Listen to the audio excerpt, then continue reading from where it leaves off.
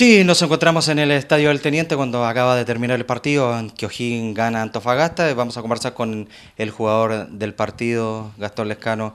Importante triunfo que lo deja arriba a a tabla de colocaciones, pensando lo que va a suceder mañana con Colo Colo y los partidos que se vienen, los que están arriba.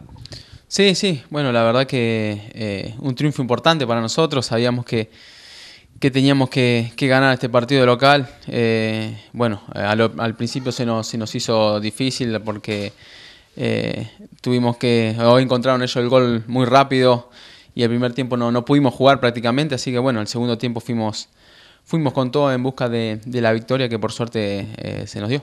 Esto en el momento que está pasando usted.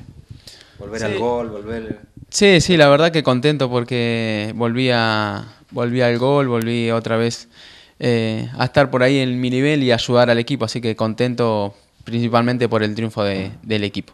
El partido próximo con Everton, ¿cómo lo toman?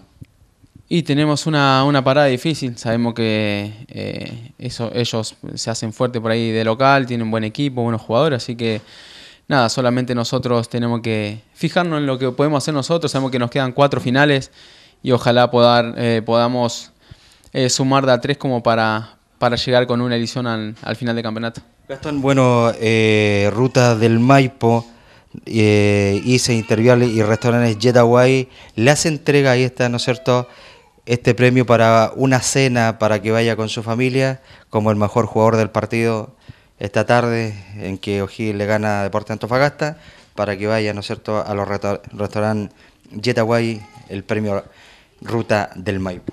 Bueno, bueno, muchas gracias por, por el obsequio y bueno, esto lo, lo, disfrutaremos con, con, la familia, así que muchísimas gracias. Gracias Gastón y que le siga yendo bien. ¿eh? Bueno, gracias a ustedes, chao.